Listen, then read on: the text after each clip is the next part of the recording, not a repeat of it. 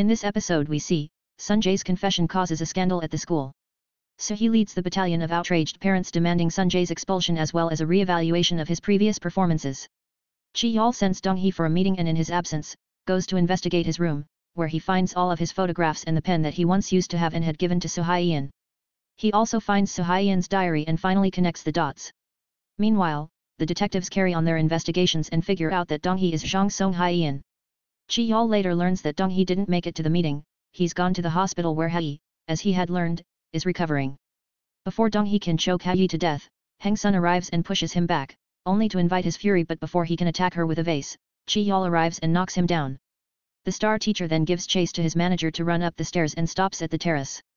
Chi Yeol asks him why he's doing this, to which Dong Hee replies with anger and frustration, telling him that he's the only adult he could trust and wish to protect. Chi Yeol helps him realize a bit that his selfish and guilt-free murders have to stop.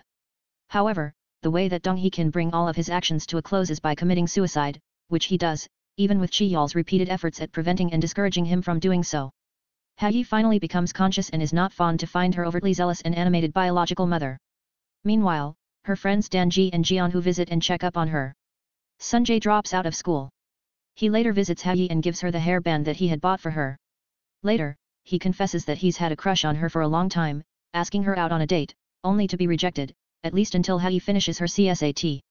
Suhi has already started to lose the prominence she used to have among her group of moms when she and everyone with her finds Suhi's husband having the time of his life while on a date with his affair.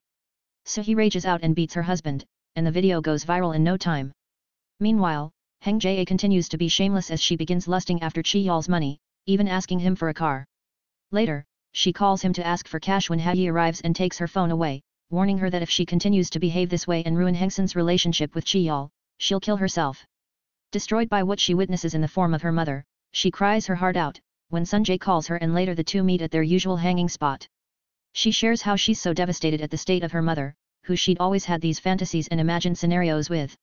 She hates that her mother is here and now she can't even imagine her biological mom being a good person.